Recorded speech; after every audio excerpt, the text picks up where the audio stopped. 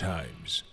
네, 따뜻한 남자 김은총 기타리스트 모셨습니다. 네 오늘도 어, 이거는 리뷰가 끝나기도 전에 어, 아마 팔릴 것 같습니다. 네, Buzzbee TV의 고품격 악기 버라이어티 Gear Times 지금 시작하겠습니다.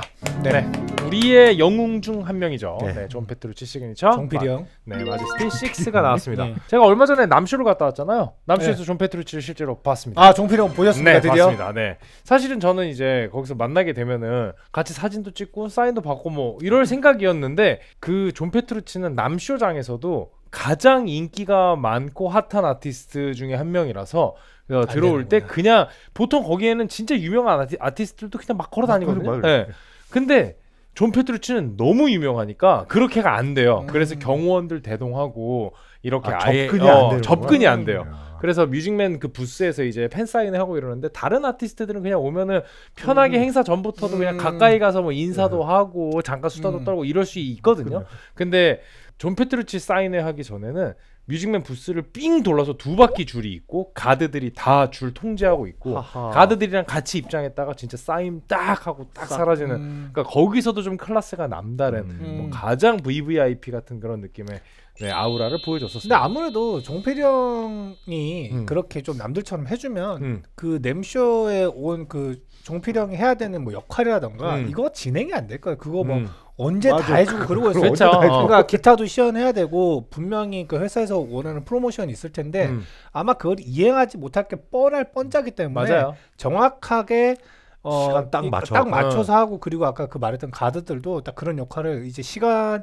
관계 적인 거를 다 조율하기 위해서 있지 않았을까? 그러니까 너무 수요가 많은 거예요. 그럼요. 어, 우리 존 페트루치를 어, 개인적으로 이제 인사라도 한번 해보고 싶어하는 사람들이 음. 너무나 많기 많아. 때문에 그렇게 진행이 안 돼서 그래서 저도 그냥 멀리서 실제로 음. 본 걸로 만족을 하고 수염은 점점 더 길어져가지고 이게 뭐 진짜 지금은 무슨 어디 종교 지도자 같아요 음. 느낌이. 그러니까 아, 그리고 이렇게 돼 있어. 그리고 종필이 형이 네. 이쪽 계열에서는 종교죠. 야, 사실 종교죠. 종교가 맞아요. 맞아요. 그러니까 이쪽 계파로 그러니까 뭔가 네. 무슨 그런 거 있잖아요. 우리, 우리 뭐 예를 들면 뭐 중세 시대 보면 무슨 가문에서 뻗쳐나서 이렇게 나오는 나오는 것처럼 음. 그 종필이 형을 추종하는 자들이 이 밑에 무슨 가, 가지 쳐서 이렇게 막 그렇죠. 나오는 어. 그런 뮤지션들이 많기 때문에 그 이제 존 페트루치 같은 경우에는 젊었을 때 수염이 되게 짧고 댄디한. 시절에는 그죠, 그죠. 우리나라 그 배우 중에 권오중 씨를 닮았어요. 음, 맞아요, 맞아요, 맞아요, 맞아요. 맞아요. 어, 이게 털로 뒤덮인 다음에는 예수님을 닮았죠. 음. 이미지가 근데 좀 많이 좀 어, 약간 이렇게 어. 예수님이 그 파워리프팅 하시면 그죠. 약간 네, 그렇게, 그런. 느낌. 일단 파워 팔 어. 굵기가 일단 어. 말이 안 되죠. 그렇습니다. 어. 그래서 뭐 어, 굉장한 아우라를 어쨌든 보여줬고 저는 아. 사실 그때 가가지고 음. 어, 제가 당신이 한국 와가지고 사인해준 기타 내가 리뷰했다 이 길 하고 싶었는데 그럴 기회가 없었습니다. 아쉽게도. 그 종필 형님 실제로 보면 등치가 어떠신가요? 생각보다 키가 굉장히 작습니다. 아 그래요? 키가 작아요. 옆으로만 살짝 요새 벌크업 돼 있잖아요. 아 얼굴이 키는 작으셔서 작아요. 그런 거. 네. 아. 그 실제로 우리 외국 아티스트들 우리가 되게 크다고 생각했던 사람도 실제로 보면은 작아요? 그렇게 큰 사람들이 음. 많이 없습니다. 생각보다 되게 작아요. 참 되게 재밌네요. 그 앤디 티몬스 형님은 작아 보이는데 실제로 보면 크고, 크고, 네. 존 메이어도 어 별로 키가 안 커 보이는데 실제로는 엄청- 굉장하고 우리 종필 형님은 어. 두상이 작으시니까 어, 등치가 그래서 좀더 커 보이는데 생각보다 키가 되게 작고 음. 저는 이제 그 어쿠스틱 기타리스트 중에 앤디 맥키라고 있는데 앤디 맥키가 굉장히 physical이 큰 거한일 줄 알았거든요. 음. 정말 앙증 맞더라고요. 아, 그러니까 그- 화면에서 나오는 비교 대상이 없는 아. 그 비디오로는 아, 우리가 아티스트들의. 체격을 확실하게 알 수가 음, 없다라는 걸 이번에 진짜 많이 인지했습니다. 외국 아티스트는 두상이 좀 많이 작다 보니까 그게 좀 네, 게 그것. 때문에 좀 음. 오인을 하게 되는 경우가 되게 많아요. 음. 그래서 종필이 형을 보고 와서 음. 종필이 형 기타를 하려니까 또 뭔가 이 마음이 또 되게 반갑네요. 예전이랑 또 느낌이 다릅니다. 그죠? 네, Majesty 6는 저희가 최근에 할 때도 늘 항상 초고득점을 받아가는 기타 중에. 잘 만들었다. 그러니까 진짜 잘 만든 기타, 네. well-made 기타로 여러분들이 너무나 잘 알고 계시는데요. 작년에도 저희가 두 번을 했습니다.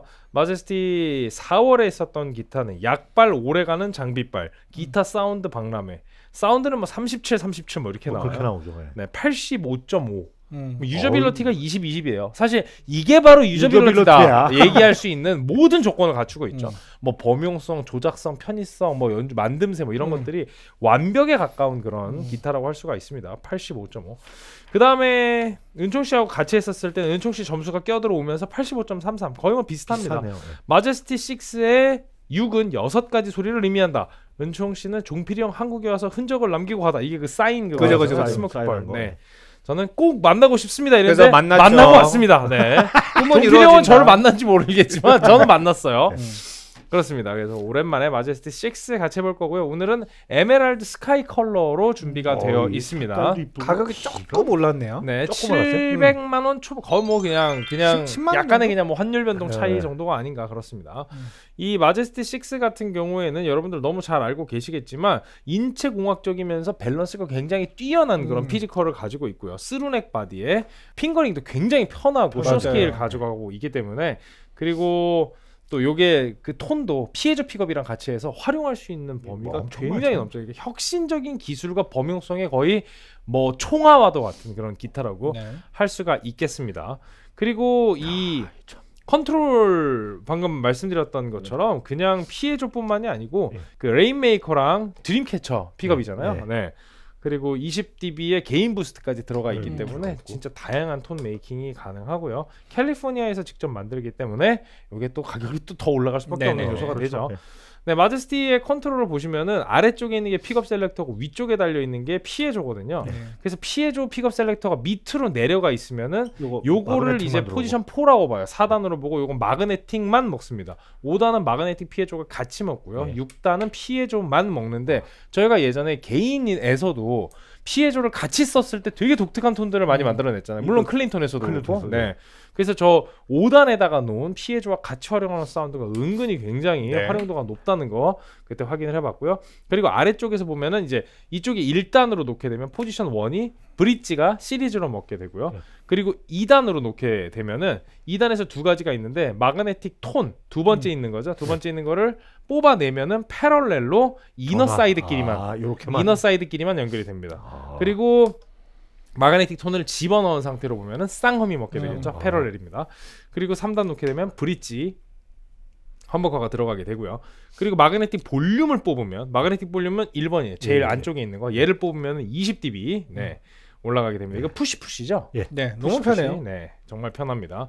그리고 이게 모노 스테레오로 또 활용을 하실 수가 있어요. 오, 오. 네. 모노 스테레오도 음. 어, 뒤쪽에서 여러분들이 희한하네. 세팅을 여기 별게 다 있어요. 네, 직접 하실 수가 있어서 워낙에 많은 그런 어떤 technical한 있구나 모노스테레오. 음. 네, 그런 옵션들을 활용하실 수가 있는 그런 기타입니다. 이거는 그 기타 이렇게 그 고치거나 음. 그런 사람들한테도 편할 것 같아요. 어, 모든 그러게요. 걸 다 점검할 수 있어요. 음, 네. 좋습니다. 아, 잘 만들었네. 이 존 페트루치가 뭐 그 어떤 자기의 needs를 끊임없이 Music Man에다가 요구해서 음. 만들어진 그죠. 어, 진짜 그 본인의 철학이 고스란히 담겨 있는 기타라고 할 수가 있겠죠. 705만 9천 원입니다. 오, made in USA 전장 95cm 무게는 2.8kg 정말 가볍죠. 이것도 사실은 그 usability의 네, 플러스. 요소입니다. 네. 두께 최고죠. 42mm, 12 fret 뒷둘레 77mm, body는 okoume 그리고 maple top, 마호가니 와. through neck입니다. high gloss 폴리에스테르 finish가 적용이 되어 있고요. neck은 Honduran 마호가니입니다. 오. 네, Honduran 마호가니 high gloss 폴리에스테르 finish 역시 적용이 되어 있고 쫙 뻗어 있고 wing이 붙어 있죠. head machine은 Schaller의 M6 IND locking head machine이고요. 어, 너트 너비는 43mm, 오. string은 Ernie Ball Slinky 2240 쓰고 있습니다. Music Man 거 쓰는군요. 그렇죠. 그때도 이제 그 Ernie Ball 그 부스 주변으로 이제 돌았기 때문에. 네, 지판은 ebony고요. 지판 곡률 반지름은 432mm입니다. 네, 스케일 길이는 648mm. 이게 25.5인치잖아요. 예. 그러니까 이게 전장은 95cm인데 스케일 자체는 standard scale을 사용하고 있기 때문에 여러분들이 봤을 때 여기에서의 느낌은 비슷한데 compact한 그 느낌. 아, 아, 요게 좀 특징적이라고 할 수가 있겠죠. 깊이 박았군요. 그렇죠. 그래서 그 하관이 좀 작은 네. 거예요. 하관이. 음. 원래 저 뒤로 조금 body가 더 나가는데 나가는데 하관이 짧고. 음. 그렇습니다. fret은 24 medium jumbo profile의 stainless steel fret이고요. 픽업은 Rainmaker, Rainmaker와 어, 4개 레이메이커 브릿지에 드림캐쳐가 들어갑니다. 음. 네, bridge는 Fishman의 Power Bridge piezo saddle이 장착이 아, 되어 있어서 이거 저게 정말 단순하게 저- 생겼는데 진짜 좋아요. arming에 또 최적화되어 있는 그런 픽업이라고 보실 수가 있겠죠. 네. 컨트롤은 저희가 아까 설명 미리 드렸고요. 네. bridge custom 존 페트루치 Music Man floating 트레몰로 matte black. 예. 아, 네. 좋습니다. 자 이렇게 쭉 스펙 살펴봤고 바로 사운드 들어볼게요. 네. 뭐 좋겠죠.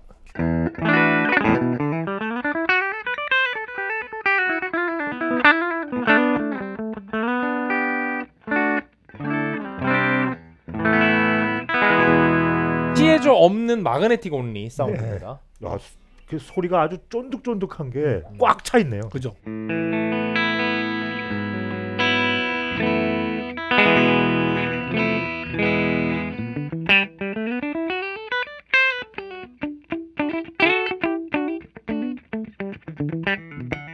뽑으면 뽑으면 베레벨 소리가 다 나는 좋아요.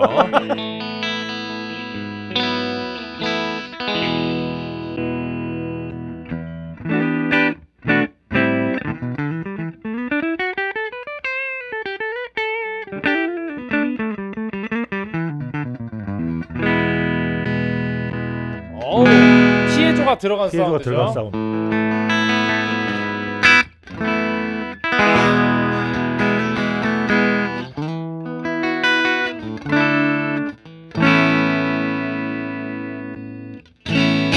아우 이 사운드 우리가 진짜 좋아했던 사운드.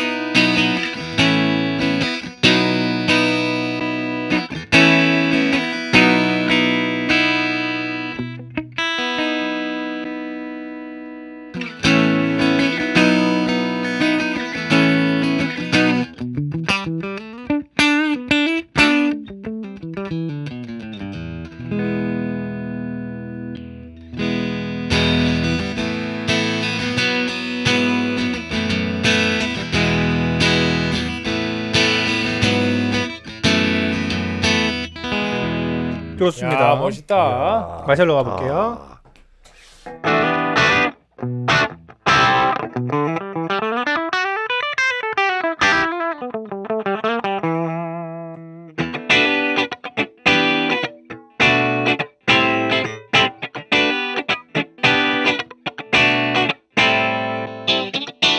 아, 어이 톤이 진짜 활용도가 높아요.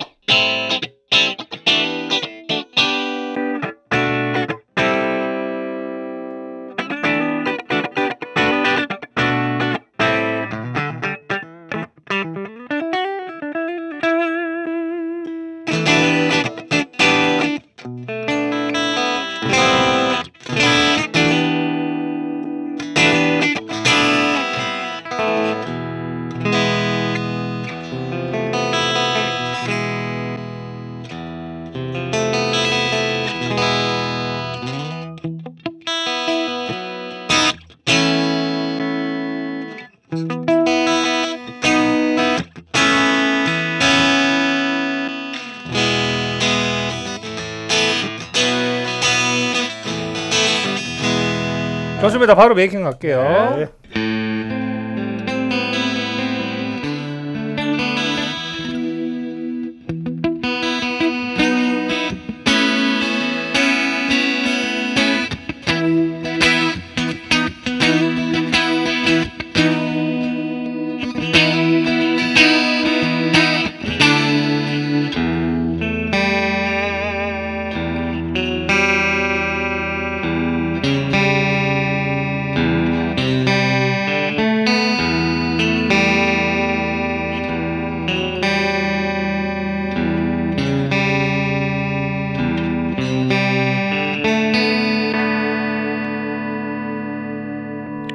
힘들어.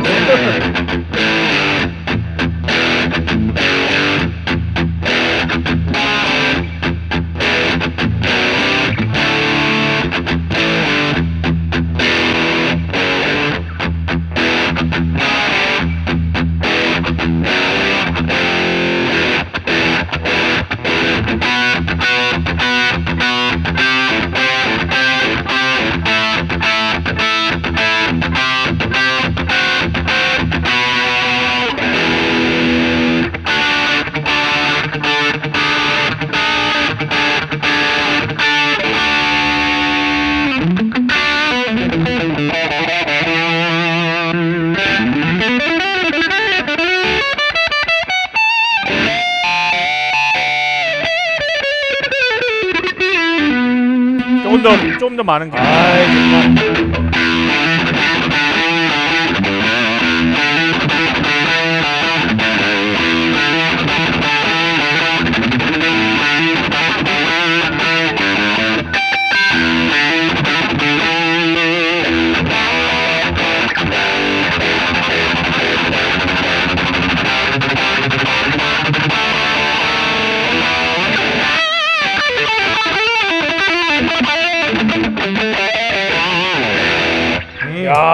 야 좋지요. 드림 시어터 파티를 네. 잠깐 어. 들려주셨어요. 이게 좋습니다. 마잘 한번 쳐보라. 어 그러니까요. 어우 좀필요 그래서 서 한번 쳐봐도 될까요? 네. 이게 뭐 여러분들이 기타를 좋아하는 취향이 어떨지 모르겠는데 저는 개인적으로 뮤직맨이 제일 편하거든요. 음.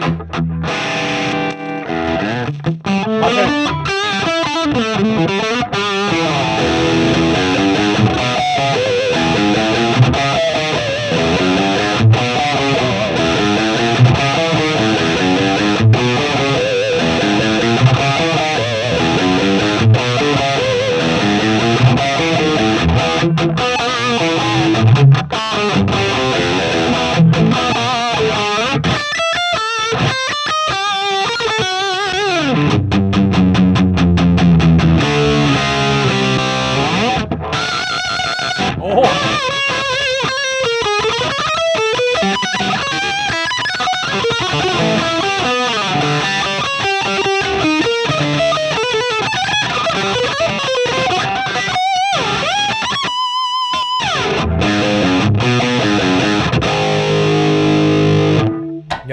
야 역시 그냥 연주감 자체는 정말 너무 너무 편안합니다. 이게 손에서 잘잘잘잘잘 굴러다니는 느낌이 나요. 그 뭐 다음 시간도 이제 뮤직맨이 두 편이 이어지지 않겠습니까? 근데 모르겠어요. 그러니까 저는 제가 이때까지 개인적으로는 음. 뭐 정말 많은 기타를 쳐봤고 실제로 소유해봤고 버즈 배우면서 또 그게 넓어졌잖아요. 네. 또 저변이. 근데 저는 개인적으로 뮤직맨이 가장 치기 편한 기타가 아닐까라는 생각이 들어요. 뮤, 그 무게부터 해서 저는 개인적으로 음. 이게 손에 잡히고 감기는 게 저는 되게 편하거든요. 근데 거기에서도 얘는 그냥 저 위에 있어요. 그러니까, Music Man에서 제일 치기 편한 기타. 어. 어. 그러니까 내 기준에서는 Music Man이 모든 기타 브랜드 중에서 제일, 제일 치기 편한데 얘는 중에서. 그거를 뛰어넘는. 음. 그러니까 제가 존 페트루치를 뭐 이누형만큼 좋아하지 않, 않거든요. 근데 그럼에도 불구하고 이 기타는 그냥 너무 좋아요. 음. 그러니까 사실 뭐 예전부터 뭐 갖고 싶었다 이런 생각을 해본 적도 없는 기타고 뭐 내가 뭐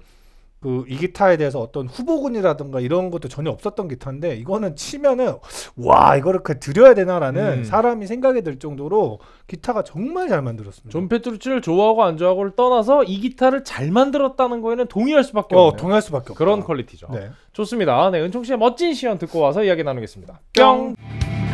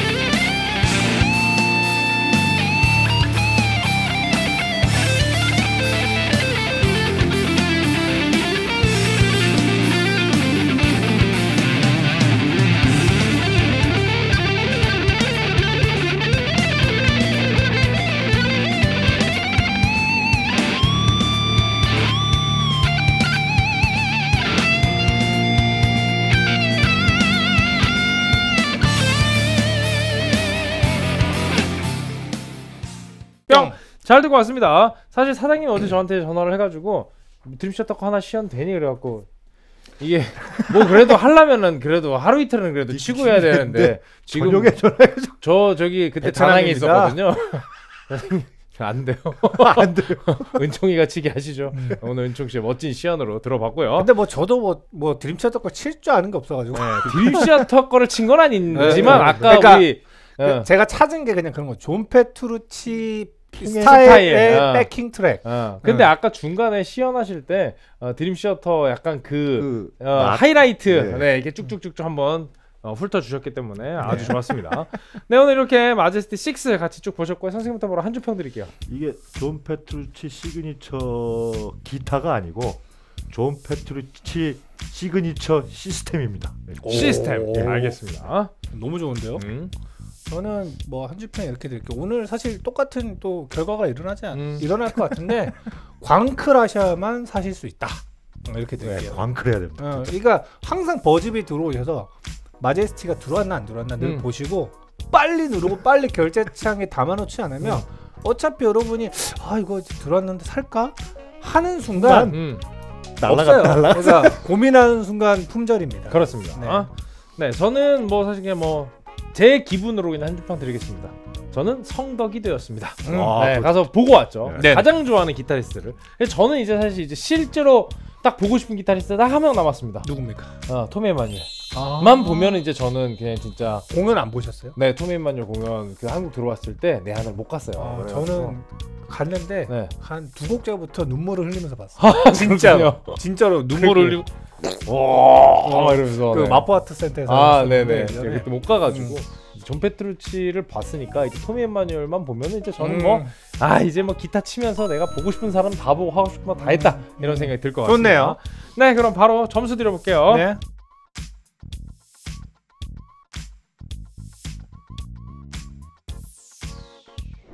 네, 스쿼드 발표하겠습니다. 굉장한 결과가 나왔어요. 선생님 사운드 37, 가성비 13, 편의성 20, 디자인 16.